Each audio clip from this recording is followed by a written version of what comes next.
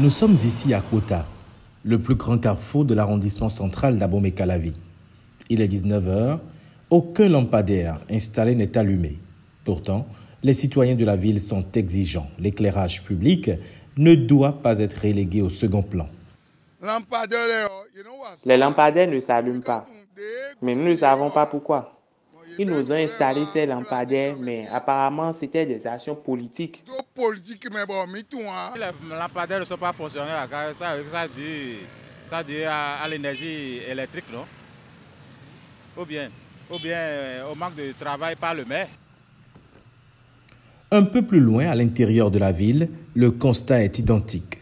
Eh oh, dans la descente de Vepa à Topazungo, c'est seulement trois lampadaires qui s'allument. Mais mettons tout possible, ben, lampadaires. Ils nous ont laissé et ont fait une mauvaise répartition des lampadaires.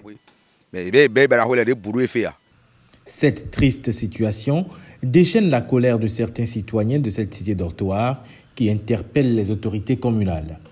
Le maire Georges Fada, le maire de la commune dabomey ne se soucie pas de nous, ses administrés. Nous savons tes besoins. Nous ne sommes pas contre le maire, mais il faut qu'il sorte pour voir de temps en temps ce qui se passe dans sa localité.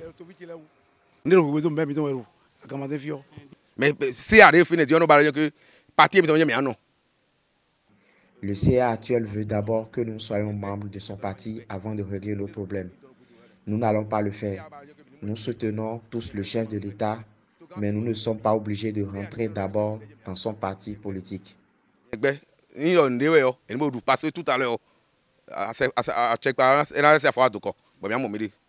Face à ces multiples plaintes, les autorités locales semblent opposer un mur de silence. Une chose est sûre, les citoyens désormais savent d'où vient leur malheur, c'est d'avoir porté à la tête du conseil communal des autorités peu soucieuses de leurs problèmes quotidiens.